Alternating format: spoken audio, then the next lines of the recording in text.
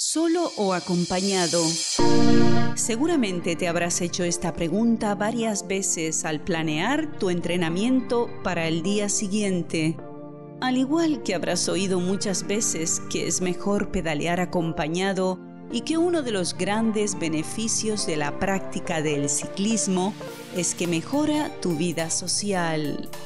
Sin embargo, puestos a optimizar y sacarle el máximo rendimiento a tu entrenamiento diario, en este vídeo te demostraremos por qué pedalear solo es mejor que hacerlo en grupo. No olvides suscribirte y activar la campanita de notificaciones. Número 1. Puedes salir cuando quieras. Tener que esperar para salir en la bicicleta puede llegar a ser incómodo. Te cambias, preparas tu bicicleta, llenas tus botellas y luego tienes que esperar a que tus compañeros aparezcan 20 minutos más tarde en tu casa. Peor aún si planeas reunirte en algún lugar del camino y tienes que esperar muerto de frío porque has llegado a tu hora y no quieres ser el que llega tarde. En cambio, si vas solo, puedes salir cuando quieras y pedalear sin parar desde el momento que sales de casa. Número 2. Puedes pararte todo lo que quieras. ¿Qué quieres pararte a hacer una foto del idílico atardecer? ¿O necesitas revisar la transmisión sin detener el grupo? ¿O simplemente estás demasiado cansado para continuar? Si vas solo, no hay problema.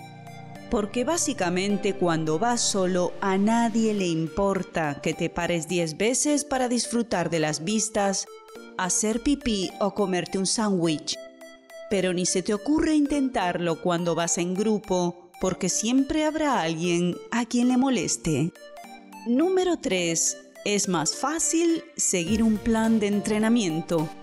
Si viajas en grupo, seguramente tus compañeros no entrenan para lo mismo que tú.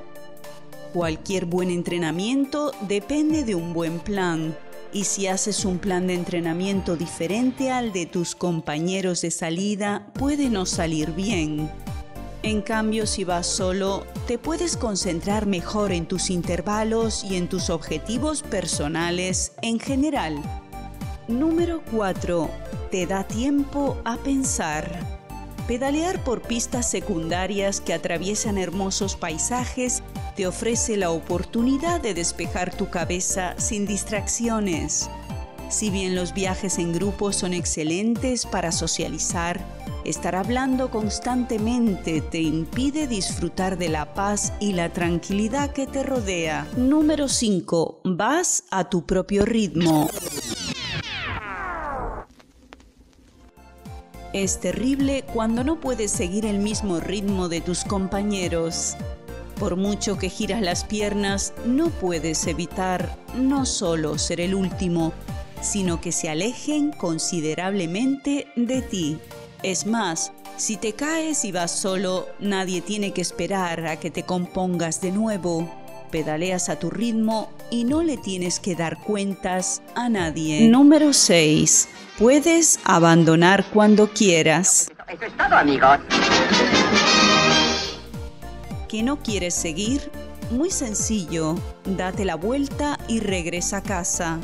Si estás solo, claro está, porque si viajas con otros ciclistas, te verás obligado a cumplir con la totalidad de la ruta establecida con anterioridad. Número 7. Siempre ganas los sprints. Lógicamente, como vas solo, no te picarás con nadie escalando un puerto de montaña y no tendrás que pasar por la humillación de quedarte siempre atrás con cara de póker, porque tú y solo tú levantarás siempre los brazos en señal de victoria cada vez que llegues a la cima de la montaña, a menos, eso sí, que alguien que no conoces aparezca de repente se pique contigo y te gane y te amarga el día porque ya no ganaste, que siempre los hay. ¿Y qué nos dices? Cuéntanos lo que opinas de viajar solo o en grupo en los comentarios aquí debajo. Y no olvides suscribirte y darle a like para que nos ayudes a seguir haciendo vídeos para ti cada semana. Buenas rutas.